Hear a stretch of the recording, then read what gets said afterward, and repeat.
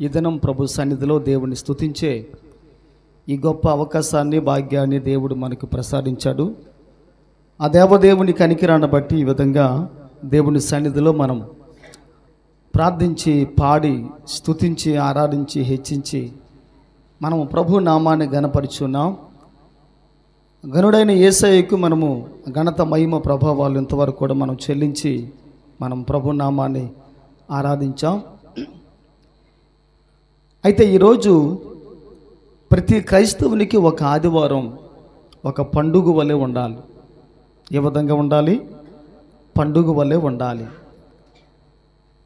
Sunday is funday ఆ విధంగా ఉండకూడదు. సండే ఫండే ఆహ్లాదకరంగా జాయ్ఫుల్గా ఉండకూడదు కానీ సండే ఎప్పుడు కూడా స్పిరిచువల్గా ఉండాలి. ఆధ్యాత్మికంగా ఆత్మ సంబంధంగా ఉండాలి. నేను ప్రభు దగ్గరికి వెళుచున్నాను. నాకెంతో సంతోషం ఉంది నేను ప్రభు పాదములు సమీపిస్తూ ఉన్నాను. నాకు నా దేవుడు సంతోషాన్ని ఆనందాన్ని కలుగు చేయాలి అని ఈరోజు ఒక వ్యక్తి ఇటువంటి ఉద్దేశాన్ని కలిగి దేవుని సన్నిధిలో ప్రభు పాదములు చెంతకు రావాలి. నేను దేవుని సన్నిధికి ఎప్పుడు వెళ్ళాలి? అని దావీదు మహారాజు తన జీవితంలో తహతహలాడుతూ ఉన్నాడు ఆయన. తన ప్రాణము సంతోషముతో ఆనందముతో నింపు నింపుకుంటూ ఉంటున్నాడు ఆయన. తన ప్రాణము దేవుని సముఖంలో ఉల్లసిస్తూ ఆనందిస్తూ ఉంది. ఎందుకంటే నేను ఎప్పుడు దేవుని సముఖానికి వెళ్ళి కనిపించాలి. నా ప్రజెన్స్ నా ఉనికి నేను ఎప్పుడు దేవుని సముఖంలో చెప్పుకోవాలి అని చెప్పి ఆ విధంగా అనేక మంది భక్తులు దేవుని సన్నిధిలో కనబడాలి అని గొప్ప ఉద్దేశంతో సంతోషంతో ఆనందంతో ఆ విధంగా రాగలిగారు. ఈ నేటి క్రైస్తవ సంఘాల్లో కూడా ఇటువంటి ఉజ్జీవం ఇటువంటి ఉల్లాసం ఇటువంటి ఉత్సాహం ఇటువంటి ఆనందం మనకు మన మనసుల్లో కనిపించాలి. మన జీవితంలో కనిపించాలి. నాకు ఈ దినం పండుగ. నాకు ఈ దినం ప్రభు దినం. నేను దేవునితోనే మాత్రమే ఉంటాను. ఆయన తర్వాతే నాకు ఇవన్నీ కూడా. కుటుంబమైన వంటైనా ఓర్పైన కార్యాలైనా కార్యక్రమాలైనా ఇవన్నీ కూడా అయిన తర్వాతే అని ఒక వ్యక్తి ఆ విధంగా ఆలోచన కలిగి దేవుని సన్నిధిలో ముందుకు సాగగలిగితే ఆ పరమందు చూస్తున్న దేవుడు మనల్ని మన కుటుంబాల్ని నా బిడ్డ నా సన్నిధికి ఎంత చక్కగా వస్తుంది. ఎంత ఆతృత ఎంత తృష్ణ ఎంత తపన ఎంత తాపత్రయం అని చెప్పి దేవుడు చాలా సంతోషించి ఆనందిస్తాడు ఆయన. కొంతమంది దేవుని సన్నిధికి ఆ విధంగా రారు. కొంతమంది వారు వారి జీవితంలో ఏం చేస్తారంటే అస్సలు ఈ దినం ఆదివారమైన? అయ్యో నేను మర్చిపోయానే. అని చెప్పి ఆదరా బాదరా లబోదిబోం అంటూ నెత్తి నోరు కొట్టుకొని స్నానం పానం చేసుకొని అయ్యో నేరపోయి వెళ్ళిపోయానే అని చెప్పి వెంటనే అనేక మంది జ్ఞాపకం చేసుకొని వచ్చేవారు కూడా ఉన్నారు. అంటే ఆ దినం ఆదివారం అనే ఆ ఆలోచన కూడా వారి జీవితంలో లేకుండా అంత ఏమండి విరామం లేకుండా బిజీగా ఉన్నవారు చాలామంది మనకు కనిపిస్తూ ఉంటారు. అయితే బైబిల్ గ్రంథములో ఏసయ్య మార్తతో ఒక మాట మాట్లాడుతూ ఉంటారు ఆయన. ఆయన ఇంటికి ఏసయ్య వెళ్ళినప్పుడు ఆ సంతోషములో ఆ సంబరములో ఆ ఉత్సాహములో ఆమె చేస్తున్న పని ఏంటంటే ఏసయ్య మా ఇంటికి వచ్చాడో అని చెప్పి ఆమె కేకలు వేసుకొని ఆమె చేస్తున్న పని ఏంటంటే వంట పెంట ఇవి అవి వంటకం. ఎవరూ పెట్టని భోజనం ఎవరు ఇవ్వని ఆతిథ్యం హోస్ట్. నేను ప్రభుకి ఇవ్వాలి అని చెప్పి ఆమె ఆ విధంగా తొందరపడుతూ ఉంది తొందరపడుతూ ఉంది. ఈ పని ఆ పని ఆ మహాతల్లి చేస్తూ ఉంది. మార్తమ్మ అయితే ప్రభు అన్నీ చూస్తున్నాడు. నేను ఇక్కడ ఉంటుండగా నన్ను పట్టించుకోకుండా నన్ను చూడకుండా నా సన్నిధిలో లేకుండా నా మాటలు వినకుండా ఈ తల్లి వేరే బిజినెస్ అన్నోన్ బిజినెస్ అంటే వేరే వేరే కార్యక్రమాలు చేసుకుంటూ ఉంది అని చెప్పి ఏసయ్య ఆ మార్తను పిలిచి విధంగా ప్రభు చెప్పాడు. నీవు అనేకమైన పనిపాటు వల్ల నీవు నువ్వు నువ్వేం చేస్తున్నావు? భారము కలిగి ఉన్నావు. కానీ అవసరమైనది ఒక్కటే. నువ్వు ఈ పని ఆ పని చేస్తూ ప్రయాసపడుతూ ఉన్నావు. విరామం లేకుండా ఉన్నావు. రెస్ట్లెస్ అసలు రెస్టే లేదు నీకు. అయితే నీవు నా కొరకు ఏ పని చేయొద్దు. నువ్వు నా దగ్గరికి వచ్చి నా పాదముల చెంత ఉంటే చాలు. నేను చెప్పే మాటలు వింటే చాలు. నేను చెప్పే ఆ సందేశాలు వింటే చాలు. నీ బ్రతుకు దేవుని కొరకు ఆశీర్వాదకరంగా దేవునికరంగా మార్చబడుతుంది అని ఈసయ్య ఆ విధంగా చక్కని మాటను సమాధానంగా అని చెప్పుకుంటూ వచ్చారు. ఏసయ్య ఆ ఇంటికి వెళ్ళినప్పుడు ఒక వ్యక్తి పని మీద ఉంది మరొక వ్యక్తి ప్రభువు పని మీద ఉంది. ఆమె ఏం చేస్తుందంటే మరియమ్మ ఏసయ్య పాదముల చెంత ఏసయ్య నోటి నుండి ఏ మాట వెలువడుతుందా? సక్రమంగా వినకపోతే నేను ఏ మాటను పోగొట్టుకుంటానో నేను ఏ మాటను మిస్ అయిపోతానో అని చెప్పి ఆ తల్లి ఏసయ్య పాదముల చెంత నిమగ్నమై ఆ విధంగా ఉంటూ ఏసయ్య మాట్లాడుతూ ఉంటే ఆమె ఉంటూ ఉంటే వాక్యం అంటున్న మాట ఏంటంటే ఉత్తమమైన దాన్ని మరియా సంపాదించుకుంది దేవుని కొరకు ఈ పని ఆ పని చేస్తూ ఈ కార్యక్రమాలు ఆ కార్యక్రమాలు చేస్తూ దేవుని సన్నిధిని పోగొట్టుకొని దేవుని సముఖములో మార్త చేస్తున్న పని ఏమిటంటే ఆమె చింత కలిగి ఉందన్నమాట. అనేకమైన పని భారము వల్ల పని ఒత్తిడి వల్ల ఆమె చింతలో ఉంది. చింత గురించి ఆలోచన చేస్తుంది. చింత తీర్చే ఏ సైను చింత పెట్టుకొని చింత గురించి మాట్లాడుతుంది ఆమె. సమస్యలు తొలగించి ఏ ఇంట్లో పెట్టుకుని సమస్య గురించి మాట్లాడుతుంది ఆమె. కానీ ప్రభు అన్నాడు అవసరమైనది ఒక్కటే. ఏసయ్య మాట జీవపు మూట ఏసయ్య మాట బంగారపు బాట. ఏసయ్య మాట మన జీవితంలో నాటబడితే మన జీవితము దేవుని కొరకు అభివృద్ధి చెంది ఆశీర్వాదకరంగా ఫలభరితంగా ఉండడానికి దేవుడు మన జీవితాల్లో సహాయము చేస్తాడు. ఒక వాక్యం చదువుకున్నాం చూడండి. యోహాను సువార్త మూడవ అధ్యాయము మూడవ వచ్చిన భాగం ఐదవ వచ్చిన భాగం.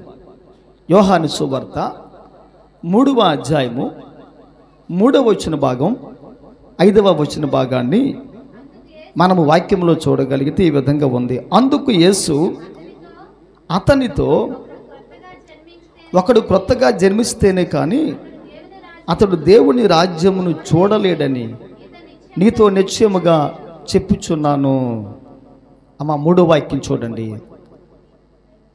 ఒకడు నీటి మూలముగాను ఆత్మ మూలముగాను జన్మించితేనే కానీ దేవుని రాజ్యములో ప్రవేశింపలేడు అనే ఆ మాటను ఏసయ్య ఒక వ్యక్తితో మాట్లాడుతూ ఉన్నాడు.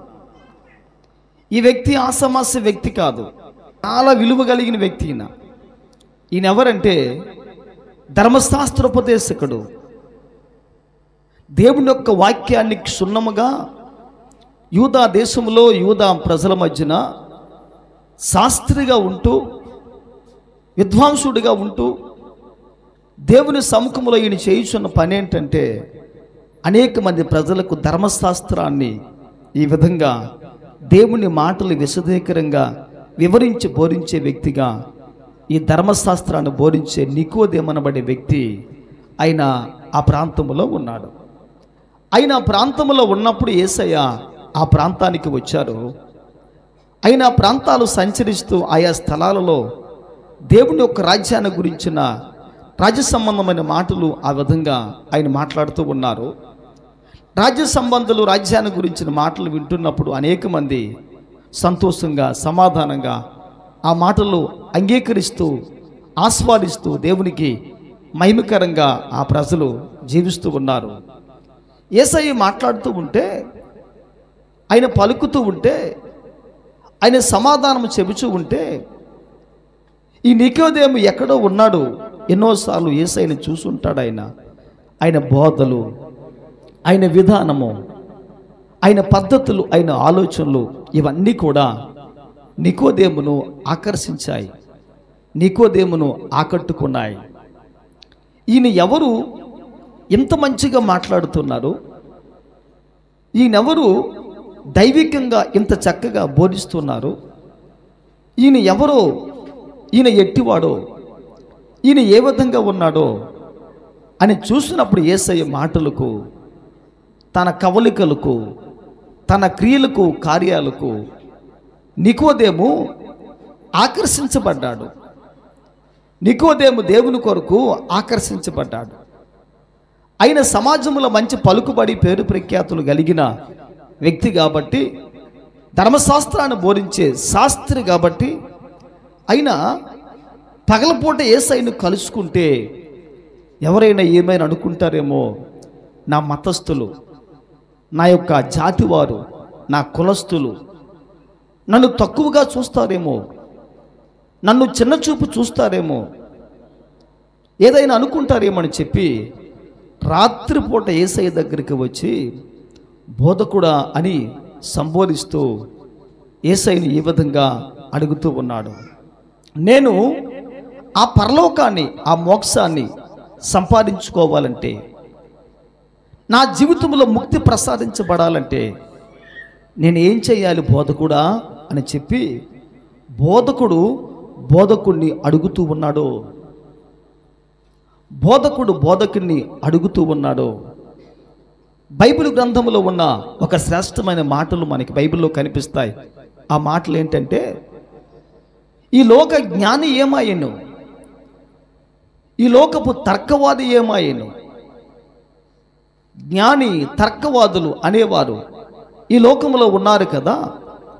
ఇంత మంచి జ్ఞానము కలిగిన వ్యక్తులకు దైవికమైన జ్ఞానము తెలియదా దైవ మార్గం ఆ ప్రజలకు తెలియదా దైవాంశ సంభూతులుగా పుట్టిన ఆ మానవాళికి దేవుని మార్గము తెలియదా అని మనం ఆలోచన చేసినట్లయితే ఈ లోకంలో నేటి ప్రపంచంలో చాలామంది గొప్పవారుగా పిలువబడుతున్నారు.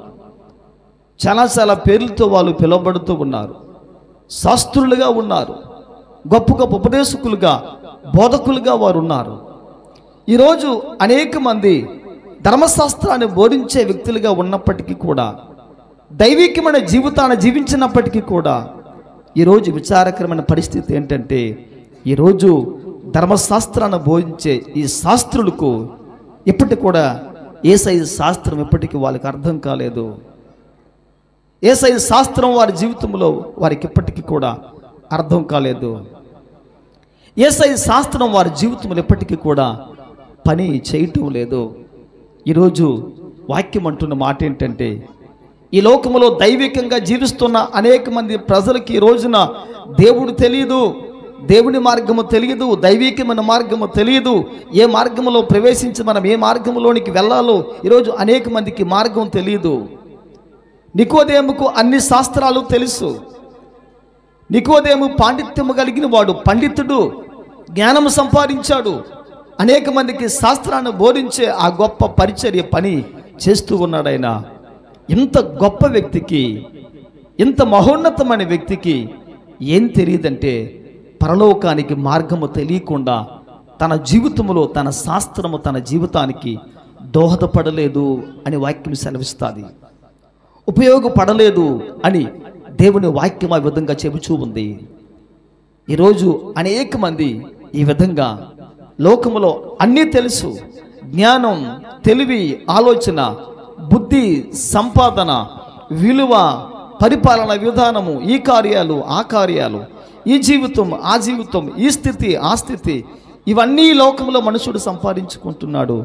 కానీ ఈరోజు విచారకరమైన పరిస్థితి ఏంటంటే ఈ రోజున అన్నీ కలిగిన ఈ జ్ఞానము కలిగిన వ్యక్తులు దేవుని సముఖములో దేవుని జ్ఞానాన్ని కనుగొనలేకపోతే పరలోకపు మార్గాన్ని కనుగొనలేకపోతే జీవ మార్గాన్ని కనుగొనలేకపోతే ముక్తి మార్గాన్ని కనుగొనలేకపోతే మోక్ష మార్గాన్ని కనుగొనలేకపోతే నిజంగా వారి కుండవన్నీ వారి జీవితంలో నిష్ప్రయోజనంగా మార్చబడతాయి. నికోదేము వచ్చి ఆ విధంగా ఏసైని అడుగుతూ ఉన్నప్పుడు ఏసయ్య ఈ విధంగా నికోదేముతో మాట్లాడుతున్నాడు.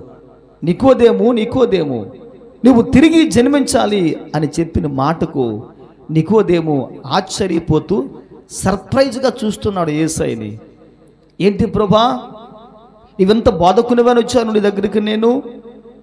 ఇంత చక్కని బోధ చేస్తున్నావు నీవు. నేను మరలా నేను జన్మించాలా?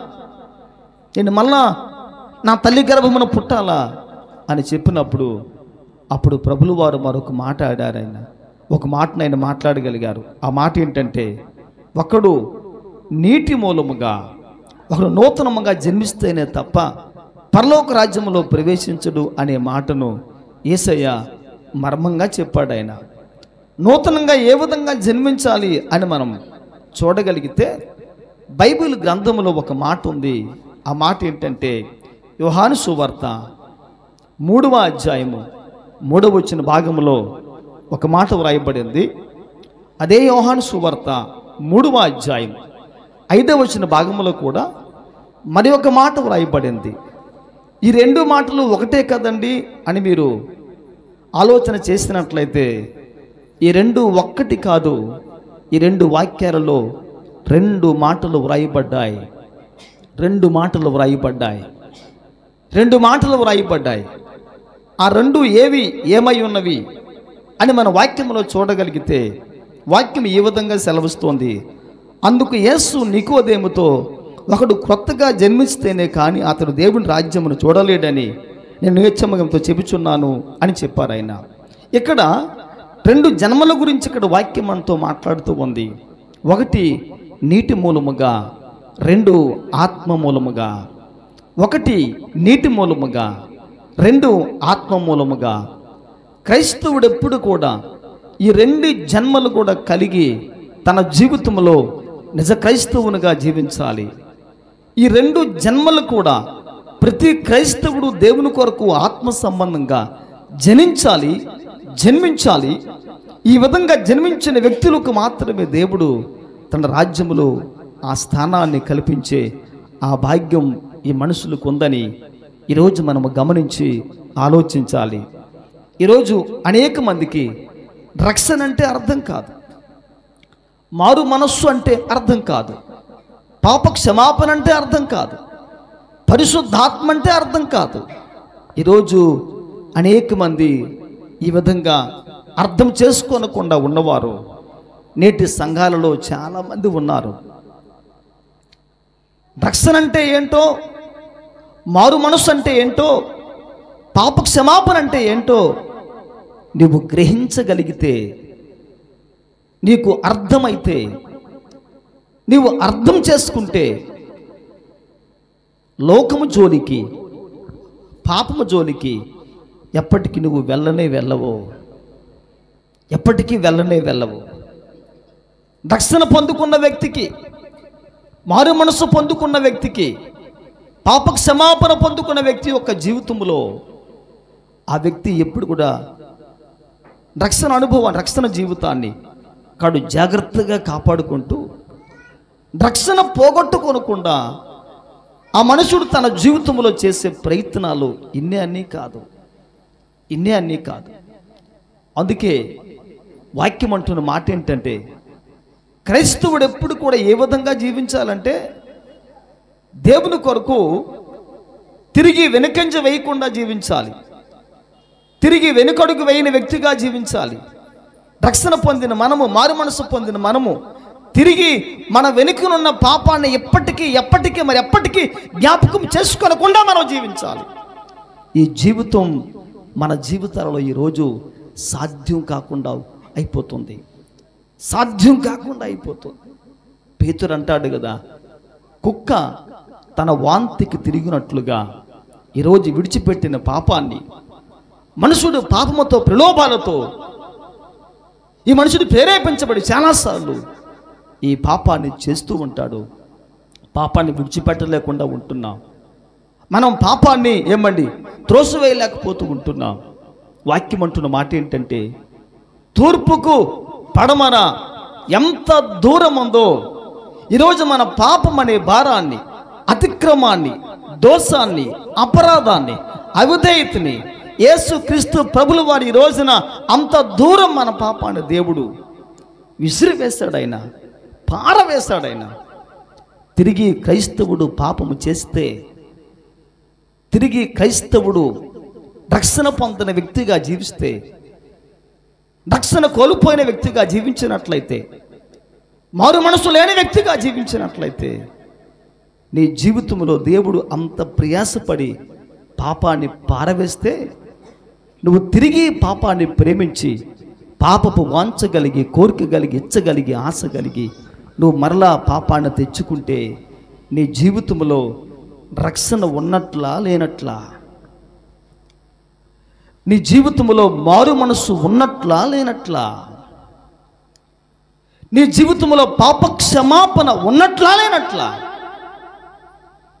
ఒక్కసారి మనం ఈ దినం మనం జ్ఞాపకం చేసుకోవాలి. ఎందుకు అని మనం ఆలోచన చేసినట్లయితే అనేక మందికి ఈ విషయాలు అర్థం కావాలి అర్థమవ్వాలి. రక్షణ అంటే ఏంటో మారు మనసు అంటే ఏంటో ఈ మనుషునికి అర్థమైతే అప్పుడు ఆ వ్యక్తి తన జీవితంలో వాటికి దూరంగా ఉండడానికి అవకాశం ఉంది.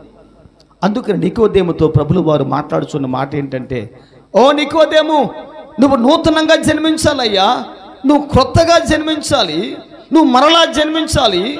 ఆ తిరిగి జన్మించిన వ్యక్తులు మాత్రమే ఆ పరలోకమనబడి ఆ మహాపట్టణంలో ప్రవేశించే ఆ యోగ్యతను వారు దేవుని ద్వారా పొందుకుంటారు అని ఆ విధంగా ఆయన చెబుతూ ఉన్నాడు ఆయన. కనుక ఏసై చెప్పిన మాట ఏంటంటే ఒక వ్యక్తి పరలోకంలో ప్రవేశించాలంటే నూతన జన్మను పొందాలి. నూతన జన్మలో రెండు కార్యాలు ఉన్నాయి. అవి ఏంటి అని మన వాక్యంలో చూడగలిగితే నీటి మూలముగా జన్మించాలి ఆత్మ మూలంగా జన్మించాలి నీటి మూలంగా జన్మించాలి ఆత్మ మూలంగా జన్మించాలి. ఈ రెండు జన్మలు కలిగిన వాడు తన జీవితంలో తన జీవిత తనువు చాలించిన తదనంతరం పరలోకములో కనిపిస్తాడు. ఈ రెండు జనములు మన జీవితంలో లేకపోతే ఆ నరకములో అగ్నిలో కనిపిస్తాయి. ఆ పాతాలపు బిలములో కనిపిస్తాయి. నరకమున అగ్ని ఆరదు పురుగు చావదు. నరకములో ఉపాయమైనను జ్ఞానమైనను లేదు. నరకములో తప్పించుకునే అవకాశాలు అంతంత మాత్రం కూడా లేవు. నరకం ఎంత దుర్భరమో ఒక్కసారి మనం ఈ రోజున జ్ఞాపకం చేసుకుని మనం ప్రభు కొరకు ముందుకు సాగాలి. అందులో మొదటిది ఏంటంటే ఒక వ్యక్తి నీటి మూలముగా జన్మించాలి అని దేవుని వాక్యం ఈరోజు మనతో మాట్లాడుతుంది. హలెలుయ నీటి మూలంగానంటే ఏంటి? చెర్ల దూకేయాలా? సముద్రంలో ఈదేయాలా?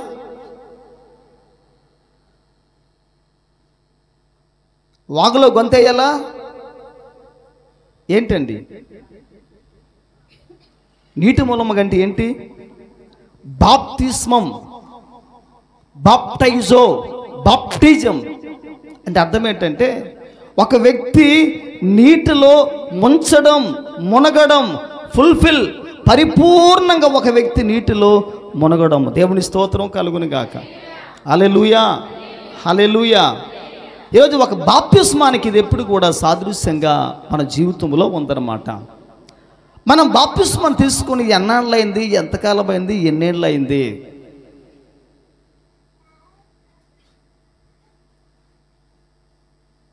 ఎంతకాలం అయింది ఎన్నేళ్ళయింది? ఎన్నాళ్ళయింది? అని మనం కాస్త ప్రశ్న వేసుకుంటే మనం రక్షణ పొంది మారు మనసు పొంది పాప క్షమాపణ పొంది బాప్తిస్మం తీసుకొని ఎన్నాళ్ళయిందంటే మనము గొప్పగా చెప్పుకుంటాం ఈ విషయాలను మనం. నేను ఎప్పుడో ప్రభుని నమ్ముకున్నాను. మేము నమ్ముకున్న దినాలలో వాళ్ళ చరిత్ర మాట్లాడుతారు.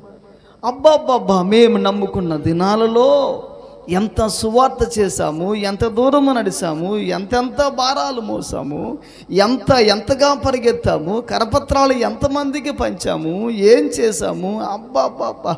మేము పొందిన రక్షణ అనుభవాన్ని మేము జ్ఞాపకం చేసుకుంటే మాకే ఎంతగా ఉంది ఆశ్చర్యంగా ఉంది ఒక గొప్ప ఆత్మీయ అనుభూతిగా ఉంది అని చెప్పేవారు లేరా?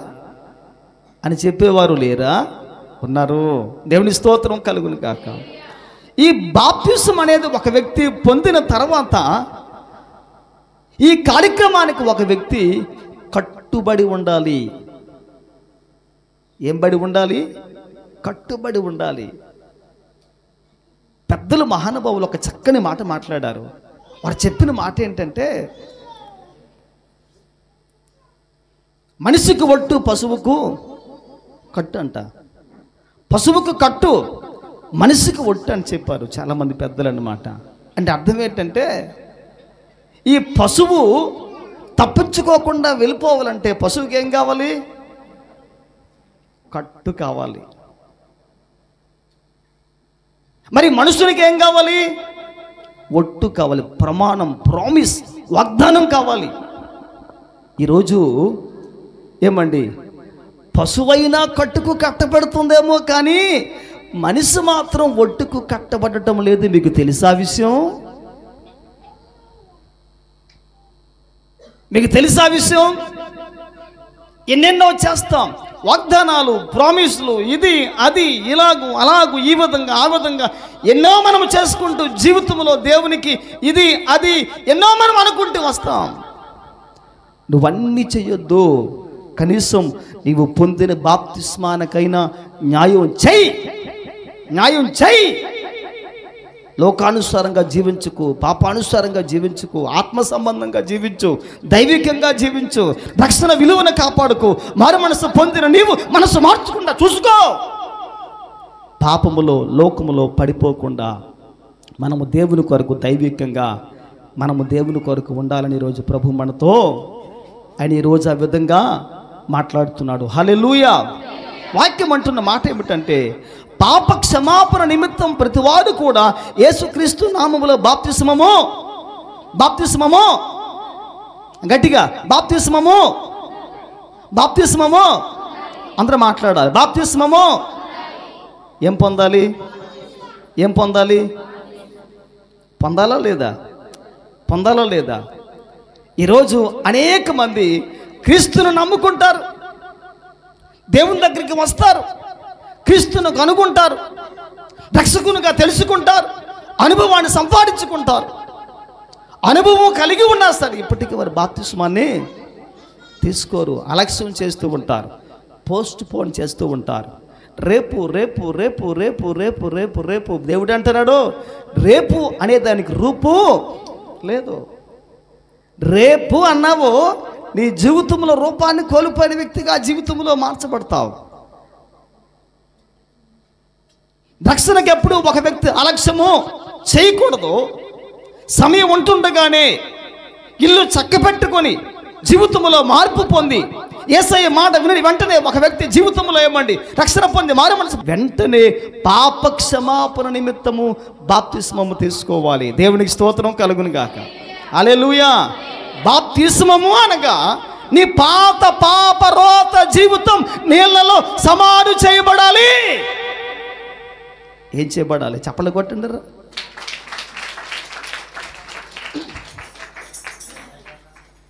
తారైన మాట మీ చెవిలో పడినప్పుడు ఒక మంచి మాట మీ చెవిలో పడినప్పుడు కాస్త చెయ్యిలు పైకెత్తి అల్లులు అనండి దేవుని స్తోత్రం కలుగును కాక హాలెలుయా అలేలుయా ఆ విధంగా అంటే మీకే ప్లస్ నాకేం ప్లస్ లేదు. ఎందుకంటే ఆ విధంగా మీరు అన్నప్పుడు ఏం చేస్తారంటే అందరూ చెప్పినప్పుడు ఏం చేస్తారంటే మీరు కాస్త మెలకువలోనికి వస్తారు.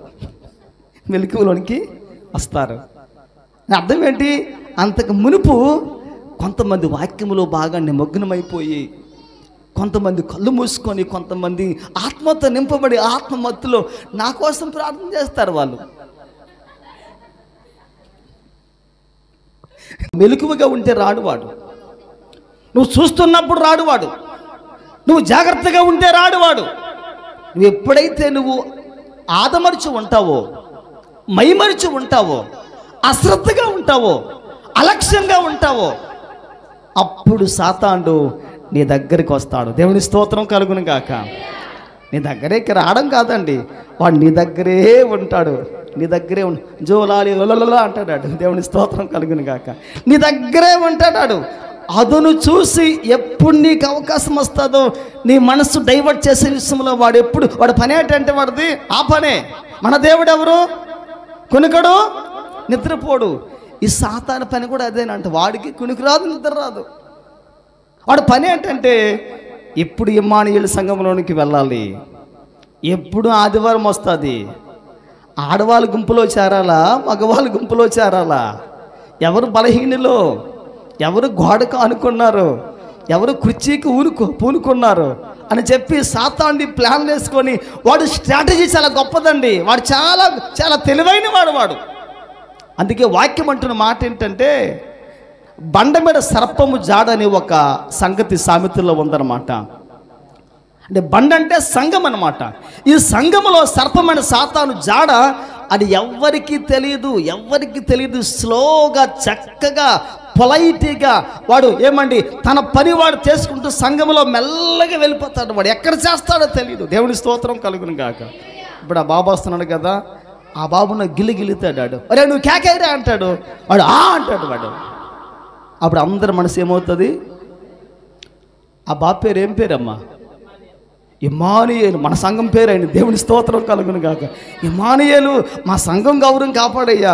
నువ్వు కాస్త మెల్లగా ఉండయ్యా. దేవుని స్తోత్రం కలుగును కాక హాలెలుయా హాలెలుయా హాలెలుయా అందుకని వాక్యం అంటున్న మాట ఏంటంటే ఒక వ్యక్తి నూతనంగా జన్మిస్తే వాక్యం అంటున్న మాట ఏంటంటే ఆ వ్యక్తి తప్పనిసరిగా నీటి మూలముగా జన్మించాలి. ఆ నీటి మూలముగా జన్మించే విధానమే బాప్తిస్మము బాప్టైజ్ అంటారు. దాన్ని ముంచడం అనగా ఒక వ్యక్తి బాప్తిస్వం పొందిన వ్యక్తి ఎప్పుడు కూడా తన జీవితంలో ఏం చేయాలంటే లోకాన్ని పాపాన్ని ఇప్పటికీ మరి ఎప్పటికీ జ్ఞాపకం చేసుకోకుండా పూర్తిగా సమాధి చేసేయాలి. విడిచిపెట్టిన పాపాన్ని. హాలెలుయా హాలే హాలెలుయా ఆలెలుయా దావీద్ అంటాడు కొన్నిసార్లు తను విడిచిపెట్టిన పాపం అప్పుడప్పుడు దావీదుకి జ్ఞాపకం వస్తూ ఉంటుంది అనమాట వస్తున్నప్పుడు దావీదు ఏమండి ఆ ఊహలో ఆలోచన చేసుకున్నప్పుడు అప్పుడు దావీద్ అనే మాట ఏంటంటే అప్పుడు దావీద్ అనే మాట ఏంటంటే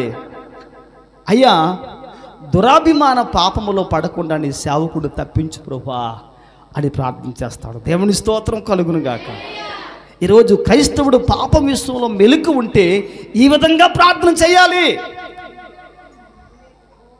మనం అభిమానించే పాపాలు కొని ఉంటాయి మన జీవితంలో దేవుని స్తోత్రం కలుగును గాక అలే నాకు పెన్ అంటే అభిమానము పుస్తకం అంటే అభిమానము బైబిల్ అంటే అభిమానము క్యాష్ అంటే అభిమానం అనుకోండి ఇవి ఏమవుతుంటాయండి? ఇవి ఎప్పుడు కూడా?